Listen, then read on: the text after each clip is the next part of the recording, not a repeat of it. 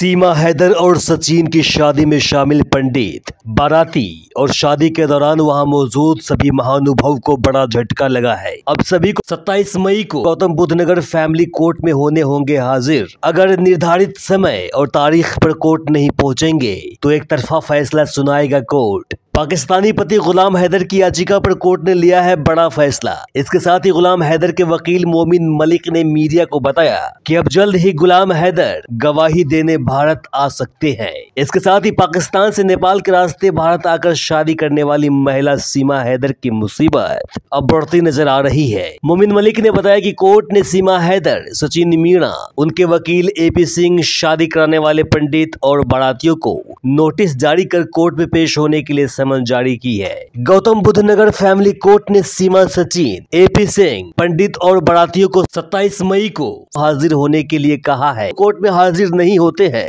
तो कोर्ट ने साफ़ शब्दों में कह दिया है कि एक तरफा सुनवाई हो सकती है। गुलाम हैदर के वकील मोमिन मलिक ने बताया कि यह नोटिस इसलिए जारी किया गया है क्योंकि सीमा हैदर अपने आप को सचिन मीणा की पत्नी बताती है और सचिन मीणा सीमा को अपनी पत्नी बताता है। और वकील एपी सिंह भी मीडिया में आकर सीमा को सचिन मीणा बताता है। वही पंडित और बारातियों को भी पहली शादी होते हुए दोनों की सालगिरह के मौके पर सीमा हैदर की दूसरी शादी कराई। शादी के अलावा बच्चों को गोद लेने की प्रक्रिया मातांतरण को भी कोर्ट में चुनौती दी गई है। इस मामले के बारे में जानकारी देते हुए अधिवक्ता मोमिन मलिक ने बताया कि सीमा हैदर और सचिन मीणा की हाल ही में मनाई गई शादी की सालगिरह को अदालत में चुनौती दी गई है। इस कार्यक्रम में शामिल हुए लोगों को पक्षकार बनाया गया है। इसके अलावा बच्चों को गोद लेने की प्रक्रिया धर्म परिवर्तन आदि को अदालत में चुनौती दी गई है। अधिवक्ता मोमिन मलिक के मुताबिक, सीमा को अदालत में यह साबित करना होगा कि उन्होंने धर्म परिवर्तन कब किया। इसके अलावा नाबालिग बच्चों का धर्म भी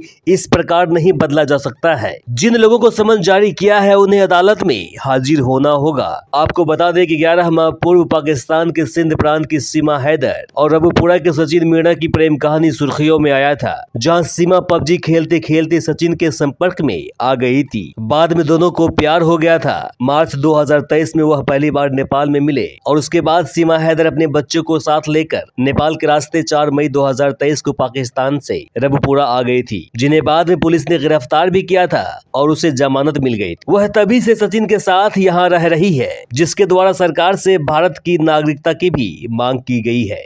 V news dot com bureau.